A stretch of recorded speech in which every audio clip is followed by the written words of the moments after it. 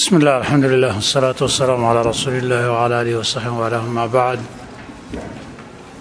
waxaan rajeynayaa cashirkii ugu dambeeyey inuu yahay oona labadii sane ee ugu dambeysay noloshii nabigeenna sala allahu alayh waalihi wasalam waxaynu joognay sanadka tobnaad sanadka kow iyo tobnaad dhowr iyo dhowr bilood oo ka mid a saddex bilood meelahaas oo aan dhammaystirnayn saddexda bilood ma dhammaystirnayn laba bilood iyo xoogay.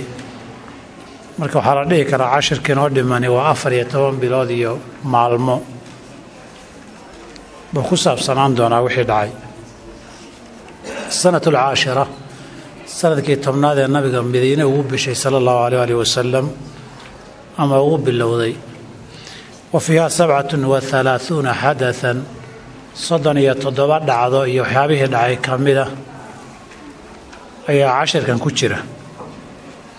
Fii rabiici alawal bishii mawlid ee saddexaad ee min asanati ka mid a yay kaanad ahayd xilliga la diray sariyatu khaalid ibni اlwaliid radia allahu canhu wa ardaah ilaa bani cabdilmudaan baa loo diray oo binajraan ku yaalla. Najraan waa qayb yaman ka mid a haddana waddanka sacuudiga xuduuddiisa magaalooyinka galay bay ku jirtaa waana gobol hadda magacii ciidanka uu watay ilaa afar boqol bay ahaayeen. Hadduu islaamnimadii ugu yeedhayna way islaameen. Iyagii kuma gaabsan qabaa'ilkii kale hareeraha degganaa oo qabiila xaaris ibni kacab la yidhaahday iyana wuu soo maray iyana way islaameen.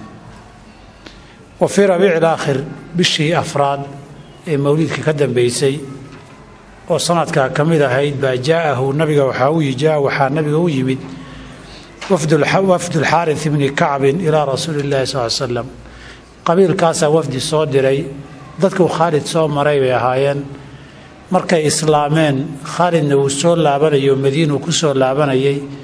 Wafdi iyaga ka socday soo raaciyeen. Sidaasay nabiga ugu yimaadeen iyagoo muslimiina.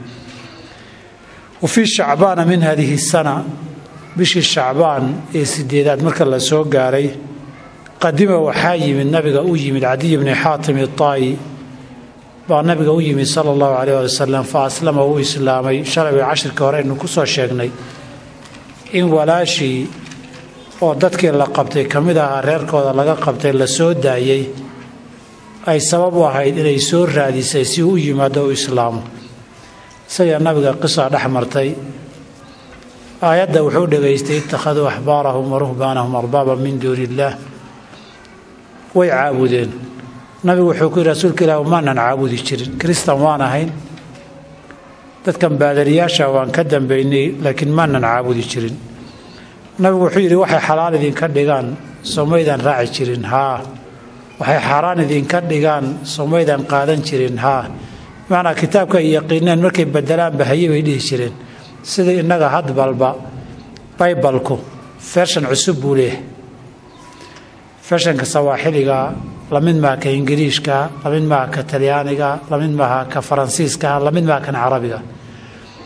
Fershanka hadda dhowrkan sano maalin dhaweyt waxaan aqriyayay mid kenyaan ahoo baadari ah dad badan raacsan yahay oo nuskhad cusub oo baybala soo saaray oo waxyaabaha qaarkood laga bedelay wuxuu yidhi carruurtaydu boqol sagaashan iyo dhowr waaye carruurtan dhalay waxay sii dhaleen. Baybalkoodii hore guurkii iyo saas ma ogolayn.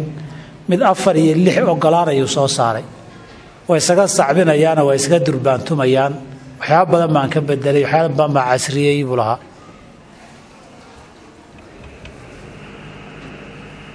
Soo kacaya.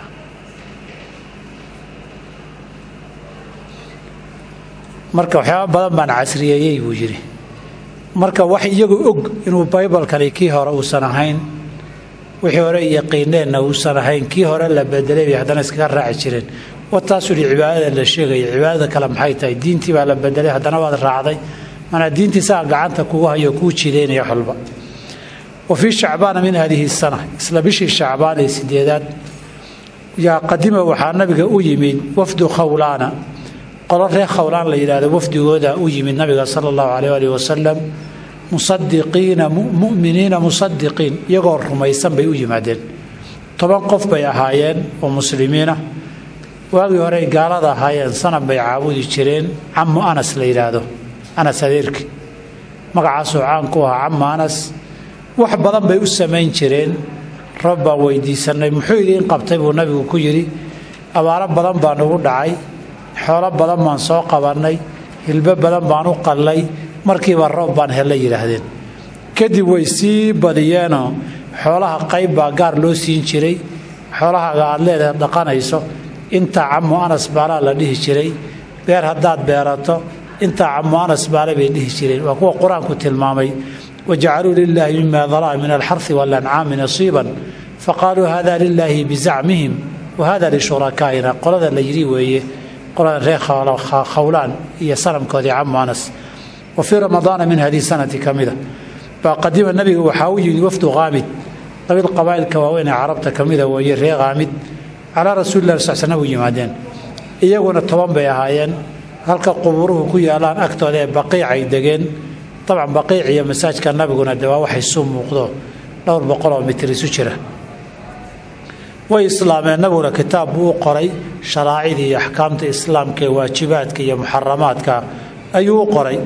Wuxuu kaloo faray ubay ibni kacab dadkan ayaan bay joogeenee qur'aanka bar buu yidhi intii laga gaadho waxoogay qur'aanu baray. Kadib bay sidii ku laabteen hadiyadiya nabiga inta uu siiyey sala allahu aleh wasalam wa fii ramadaana min hadihi sana. Ilaa isla bishii ramadaan ee sagaalaad marka la gaaray weeye ictakafa rasuulku sal ly slam wuu ictikaafay cishriina yowman labaatan maalmood buu ictikaafay. Wa caaradahu jibriilu calayhi salaam. Jibriil baa ka dhagaystay oo la akhriyey bilqur'aani qur'aanka maratayni laba jeer. Nabigu calayhi salaam sanadkaa sannadkii ka horreeyey ayaa waxoogay tobanka dambe u ictikaafi jiray. Waxoogay khilaaf baa dhacay. Khilaafka dhacayna ummahaatulmu'miniin baa sabab u noqday inuusan nebigu ictikaafin. Tobankii dambe markii la gaaray yaa nabiga calai salatu salaam meel baa saaka dhexdiisaa baa meel waab a loogu samayn jiray ama khaymad ama waab yar dheh oo uu markuu raba yaraha seexdo. Inta kale masaajkaasi uusan uga bixin. Ummahaatulmuminiinna ciddii rabta masaajka way ku ictikaafi jirtay. Dee qaybta dambe haweenka ma kala xidhnaan jirin bay khaymadaha ku asturaan jireen iska samaysan jireen. Waxoogay tartan baa gala iyagii marka. Markii ay qaarkood samaysteen waa kuwa kalena samaysteen. Nabigu markuu ictikaaf ka yimid wuxuu yidhi ruuxan fara badan ma jiri jirine muxuu yahay? Waxaa layidhi tan heblaale tanna heblaale tanna heblaale tanna heblaale tanna heblaale. Waxoogay dee ictikaafka cibaada iyo ikhlaas buu ahaa inuu ka yarbaxay buu arkay. Waa maalinka uu dhihi doono marka albira turidna war ilaahay dartii baad uga jeedaan. Wuxuu yidhi dhammaan ha la fujiyo isna sanadkaa ma ictikaafin tobankii wuu baaji. Sanadka dambe ee tobnaad yuu tobankii sanadkan iyo tobankii sanad horoos qadaynayo labaatankaasuu isla ictikaafay. Halkaa waxaad ka garatay sunanka cibaadaadka hadday wakhtigaad caadadu lahayd ku dhaafaan waa la qadeeyaa ictikaafkii sanadkan ku dhaafay eed ictikaafi jirtay sanadka dambe waa u dibdhigan kartaa. Waxaa kaloo nabiga dhici jirtay bil kastoo ramadaan jibriil baa u iman jiray qur'aankuu hal mar la dhagaysan jiray. Bishaas ramadaan ee sanadka tobnaad ahayd dabcan waa ramadaankii ugu dambeeye nabigu uu soomay sal ly slam ajashii baa soo dhow laba jeer buu qur'aanka la dhammeeyey inta uu la bilaabay. Wa fii ramadaana min hadihi sanati ka mida qadima nabiga waxaa u yimid wafdu khasaana niman khasaan la yidhahdo wafdigooda u yimid sala allahu caleh ali wasalam khasaan waa xuduudda shaam niman degi jiray boqortooyooyinkii roomaanka ku xidhnaabay ka mid ahaayeen. Saddex qof bay ahaayeen way islaameen dadkoodii markay ku laabteen way isqariyeen islaamkooda si ay u tijaabiyaan mar hore dadkooda islaam inay aqbalayaan in kale. Waxay arkeen inayna aqbalaynin. Way isqariyeen markaasaan lafahooda wax loo yeelin. Mudday joogeen nabigu sidii buu ku dhintay sal ly slam abubakar baa khilaafada qabtay. Sidii buu ku dhintay. Muddadaa laba nin baa dhimatay saddexdii ka mid a hal nin baa noolaa xilligii cumar soo gaaray. Aagga muslimiintu maalinkii yarmuug abu cubayd abu cubaydat bn aljaraax uu hogaaminayay ciidankii khilaafadii cumar ahayd ayaa aaggii la qabsaday. Markaasuu ninkii iskeenay oo yidhi ninkaasaan ahay wakhtigaasaan imid labadaydii saaxiib waa dhinteen keligiibaa meesha wax muslima ku haray buu yidhi. Abu cubayde waa soo dhoweeyey wuuna maamuusay oo si fiican buu sharfi jiray. Wa fii ramadaana min hadihi sanati ka mida bay kaanad ahayd sariyatu cali abi aalib ilal yaman baa loo diray. Dhowr jeer baa cali loo diraye xilligaa sanadka tobnaad baa loo diray bishii ramadaan. Fa aslamat yadihi waxaa ku soo islaamay hamdaanu kulluhaa. Qabiil qabaa'ilka waa inay reer yaman ka midoo hamdaan la yidhaahdo baa ku soo islaamay fii yowmin waaxidin hal maalin bay soo islaameen. Maalinka markay soo islaameenna dadkii goobta joogay soo tabiyey baraa bni caazib baa ka mid ahaa. Sida bayhaqi fii dalaali nubuwiya ay ku warinayaan. Wa fii ramadaana min hadihi sana. Dadkaasi waxay ahaayeen dad khaalid inta loo diray markii hore diiday khaalid uu ka soo laabtay cali baa daba maray radi allahu canhu ardaa wa fii ramadaana min hadihi sanati isla qadima nabiga waxaa u yimid jariir bnu cabdilaahi albajali radia allaahu canhu ardaahu. Nabigu yimi sal sl slam musliman isagoo soo islaamay fa bacaahu nabigaa diray ilaa dilkhalasati sanamka la u diray fa hadamahaa waa soo dumiyey. Jariir bnu cabdilaahi albajali isna waa qabaa'ilka yabaneed. Wafdi buu la socday dib buu ka sheegi doonaa si unbuu gaar ugu soo xusaye. Gadaal bay ka iman doontaa ilaa boqol iyo konton meelahaasay ahaayeen. Sanam bay reer bajiila caabudi jireen. Diritaanka isagu uu soo islaamay ciid dadkaasuuna la socday wafdiga odayaashooduna ka mid ahaa. Kadibna markay islaameen asnaamtii yaman buu ka waraystay. Qabaa'ilka islaamay iyo sanamyadii ilaahyadii in la burburiyey bay u sheegeen dilkhalasa muxuu sameeyey weli kaadinku caawudi jirteen. Waa sidiisii baraka beeloo dhowr duqaya baan weli ka fujin laanahay bay yidhaahdeen. Konton fardooleya buu diray. Jariir buuna madax uga dhigay. Jariir wuxuu rasuulkaan u fardafuulka ma aqaano inaan ka dhacaan ka baqaya. Nabigu faraska markuu ku fadhiistay buu laabta gacanta ka saara u duceeyey kama dhicin marka. Way soo dumiyeen wayna soo noqdeen. Dib buu arrintaa ka tilmaami doonaa. Tan la diritaanku taa weyatuu sheegayo wa fii ramadaana min hadihi sana. Isla sanadkaabay kaanad ahayd sariyatu cali bni abi aalibin ila alyamani almara ahaaniya marka labaad. Masaladan way ka khaldantay musanifku yaman bisha ramadaan intii la aadoo laga soo noqdo haddana lama aadi karo. Masaafada iyo mantiqadu intaa way ka fog tahay xilligaasay ahayd xilli ka horreeyey bay ahayd marka hore. Laakiin tan iyo tii hore isku mid weeye. Bisha bil ramadaan oo sannadkii tobnaad ahayd oo cali laba jeer la diray ma baa qadima nabiga waxaa u yimid wafdu salaamaan qole la yidhaahdo nabiga sal slam toddobaatan qof bay ahaayeen wayna islaameen. Waddankoodu inay abaar tahay bay u sheegteen nabigu uu duceeyey. Kadibna hadaayaad buu siiyey way iska laabteen. Oo reerahoodii iyo deegaankoodii bay ku laabteen. Su'aalahay weydiiyeen ee ku soo arooraya xadiidka. Waxaa ka mid ahaa rasuulka ilaahi oo camal la sameeya maxaa ugu fadli badan. Maxaa ugu khayr badan bay yidhahdeen wuxuu ihi asalaatu calaa waqtiha salaad xilligeeda lagu tukaday baa ugu khayr badan. Wa fii dilxijati sannadkii tobnaad waa sii dhammaanaya waa gabagabo bay min hadihi sanati ka mida buu xaja nabigu xajiyey sal slam xajat alwadaaci xajkii uu dadka ku sagootiye ku macsalaameeyey. Dadku sannadkii xilligii ugu badnaa dad isu yimid bay ahaayeen. Waa sannadkii uu yidhi dadka ha la gaadhsiiyo waan xajinayaa lacallii laa alqaakum bacda caami haada. Sanadkan kadib xajkan xaj ka dambeeya inaynan isarag baa laga yaabaa. Khuduu canii manaasikakum khuduu canii manaasikakum falacallii laa alqaakum bacda caami haada. War acmaasha xajka iga barto iga qaato si fiican ugu fiirsada sanadkan kadib inaynaan is-arag baa laga yaabaa.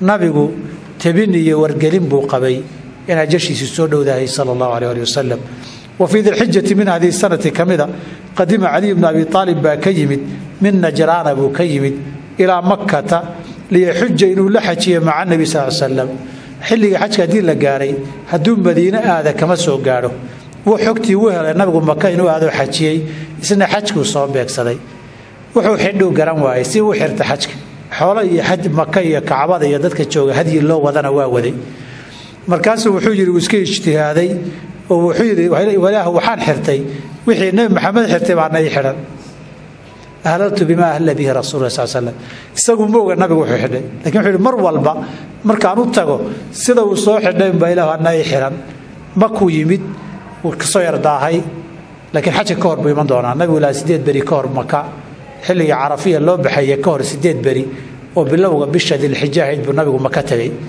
isna intaan la bixin buu tegey markuu horreysay yimid nabigu yimid rasuulkiow sal lla sl rasuul ilaahiyow sidaasaan soo xidhay maxaa ii jira?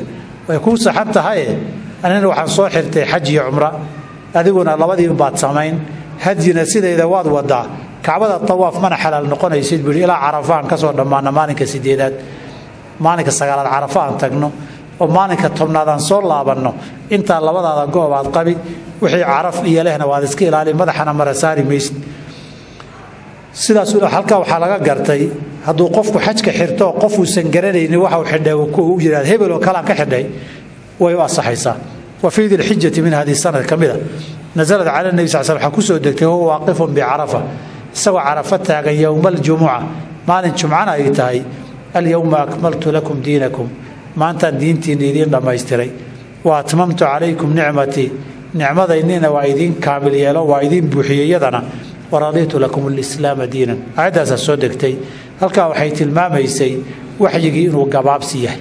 Qur'aankii loogu talagalay kitaabkanna aayadihii ugu dambeeye la marayo. Islaamkuna dhammaystirmay.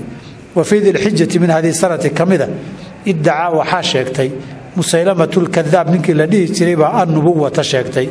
Inuu nebi yahay nabi cusub baaba soo baxay oo wakhtigaas fara'aa rasuulku sal sl ru'ya ku riyooday fiihi isaga wa fi laswadi alcansi. Nin la yidhaahdo reer yaman oo sheekadii soo socoto fataxaqaqat way rumowday. Nabig ala sl habeen habeenada ka miduu riyooday. Riyada ambiyaduna waa xaq. Wuxuu yidhi waxaan ku riyooday laba baaloon oo inta la afuufay hawada u buubay baan ku riyooday. Maxaad ku fasirtaa la yidhi laba beenaaloo nabinimo sheeganay doontaan ku fasiray. Buui kadibba labada geesee kala fog reer bani xaniifa oo musaylamo markii horeba uu la socday reerkoodana ka mid ahaa qolada koobaad bay ahaayeen. Reer bani xaniifa waxay degi jireen meel yidhahdaan alyamaama yamaamana waa meesha ay ku taalla hadda magaalada riyaad ee sacuudiga magaalo madaxooda. Halkaasay degi jireenoo kun kilomitr ka badan u jirta madiina. Dhinaca kale aswad alcansina waa yaman iyo sanco eeriyadeeda oo iyadana dhinaca kalaa weeye. Labadaa meelood ayay ka soo bixi doonaan. Musaylamaa soo baxay xilligaasoo nabiga calayhi salaatu nabinimuu sheegtay. Waxyaabaa igu soo dega waxyi buu yidhi. Wax badan buu aqriyey. Ilaa wakhtigii khilaafadii abibakar baa la soo afjaray oo khaalid iyo rag inta loo diray. Waxaa la yaab lahaa nebinimadiisa wuxuu la kulmay camr ibn alcaas bay yidhaahdaan. Waa hore isagoo wax sheegsheeganaya intuusan camr ibn caasba soo islaamin. Waa hore weligii waxbuu sheegsheegan jiray waxbaa ii yimaaduu dhihi jiray markaasuu wuxuu yidhi ibn caasow anigaba nabi baa noqday. Wuxuu yidhi niyo bal igu akhriya waxa lagugu soo dejiyey wuxuu yidhi yaa wabaru yaa wabaru inamaa anta laxmu wa bashar wadaraani wasadr wabarka baalka bakaylaha yararka weeg baa la yidhaahdaa. Wuxuu yidhi bakaylow adigu hilib iyo lafaa tahay iyo dhego waaweyn iyo feedho yaryar. Ka warran buu yidhi camarow. Wuxuu horta waad ogtahay nin maxamed ma rumaysnay laakiin niyow ilaahay baan ku dhaartaye inaad been sheegaysa inaan garanaya waad garanaysaa adigu. Been baad sheegaysaa keliya maaha in beentaada aan garanayo waxaa ilaahay igu ogyahay inaad garanayso. Oo waxaad sheegaysa been yahay. Adu nabinimuu sheegtay halkaa qabyaalad baa shaqaysay. Nimankii reer bani xaniifa ahaa ee yimida islaamay musaylama nebinimadiisii bay raaceen.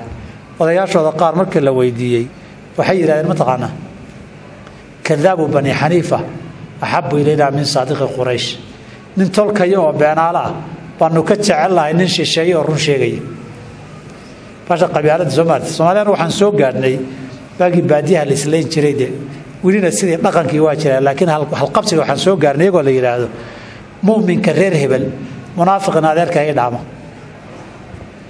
muminka reer hebel oo qabiil kale munaafiqina adeerkeebaa ii dhaamo waa sidii reer bani xaniifa soo maaha kadaabu bani xaniifa axabu ilaynaa min saadiqi qurayshin marka baashii qabyaalada rumeeyeen way difaaceen way ku dhammaadeen ilaa derbiyada inta looga dhacay isagiina la dili doono xilligii khilaafada abibakar wa fii hadihi sanati isla sanadkaas baa qadima nabiga waxaa u yimid wafdu lasdi reer bani asdi qolo la yidhahdo reer yamaan ka mida biqiyaadati surat bni cabdilaahi radi allahu canhu nabiga yimid sal slam toddoba qof bay ahaayeen oo muslimiina tolkood bayna ka wadeen hadiyaduu siiya nabigu way iska laabteen.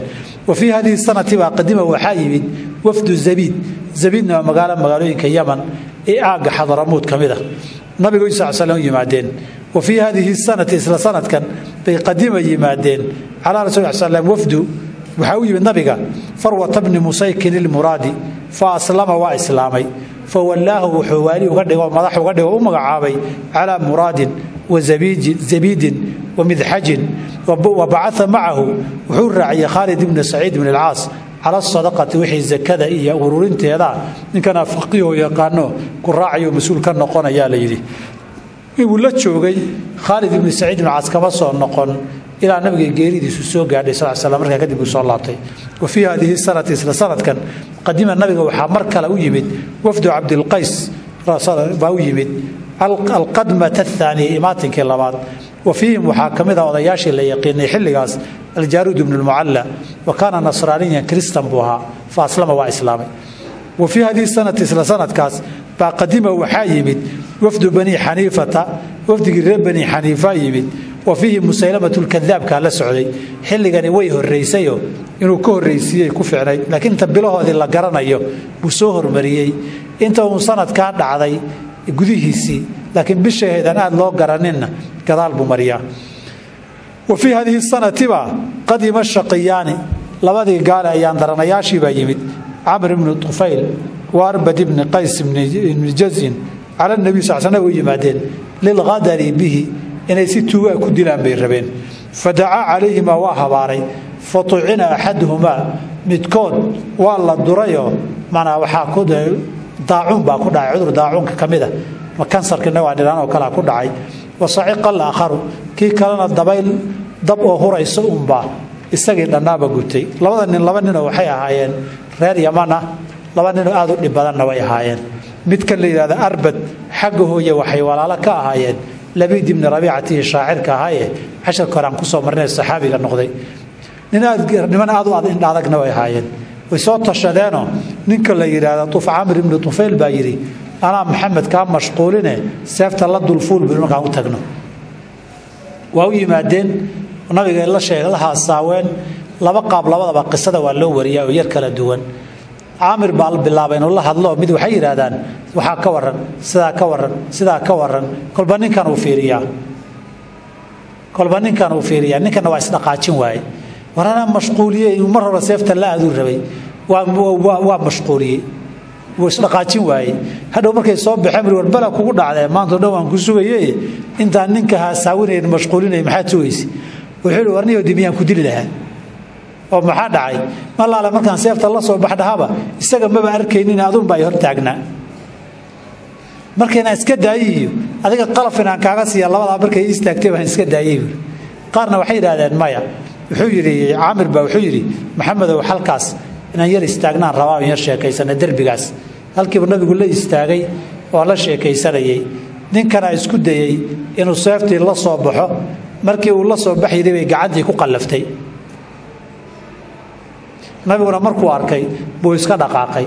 Kadib markii nabigu tegeyna gacantiisii caadi bay u noqotay. Labadooda nabigu waa habaaray way baxeen ninka camr ibnu tufayl ahaa gabar ay qaraabo yihiin buu ku degoo madiina duleedkeeda ahayd markuu amabaxay habeenkii markuu seexdayba meelahan dhuuntuunbaa nabar ka soo baxay. Nabarka ka soo baxay markuu arkay nabaradan la yidhaahdo uun cudur degdegaho geeriya inay tahay baa u soo baxday gabadha qaraabaha ahaadaan laakiin isaga nin oday qabiil u ahaa oo reerkoodii iyo dadka waaweyna gabadhanna si qaraabaha u ahaadaan oo ha qaraabaystee qoysas la yaraha liiday ahayd. Marka wuxuu yidhi intuu faraskii fuulo wareegaystay. Walaahi laba isuu kaa darmatay waa balaayo yidhi.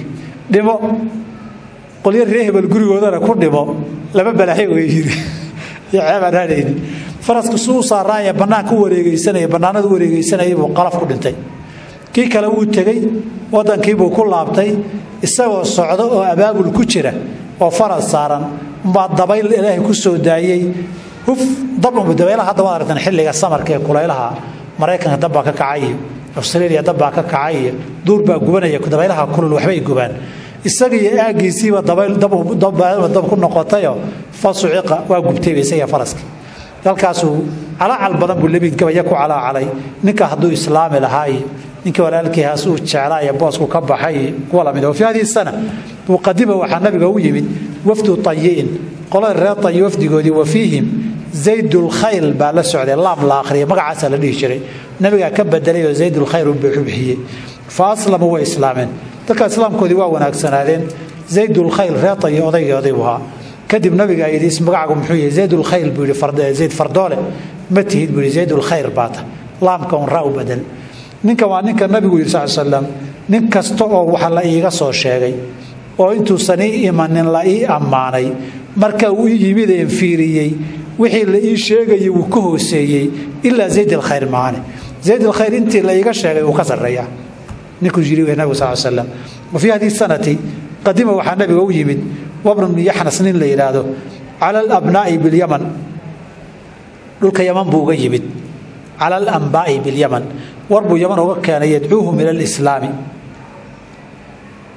may wa fii hadihi sanati dhe qadima wabnu bnu yaxsan baa u tegay oo tegey cala alabnaa'i bilyaman yaman. Intii u dhalatay oo dhan yadcuuhum ila alislaami saybu islaam buu ugu yeerayey marka u tegayna nabigaa u magacaabay inuu yaman oo dhan mas'uul ka yahay fa aslama fayruusu deylay baa islaamay waa ninka aswad dili doona wahbnu munabih baa islaamay waa nin kitaabtii hore aad u yaqiinay nabiga soo hijrooday oo nabiga u tagays yidhi baa nabigu ka hergooriyoodayo ragga taabiciinta waynu ka mid waa ibnu markabuud nin la yihahdo wakayruhum rag kalaa ku islaamay ninkaas markuu waaliga ahaa ee yaman maamulayay wa fii hadihi sanati isla sanadkaas buu aslama islaamay baadaan nin la dhihi jirayoo melikulyaman yaman inteeda badan boqor ka ahaa wa bacaa ilaa rasul slam biislaamih nabigu u soo diray islaamnimadiisii fa aqarahu nabi sal slam nabiga cala alyamani yaman inuu madax ka sii hada u daayey wakhti yar buuba sii noolaa ninkaasi qisuu lahaa islaamkiisa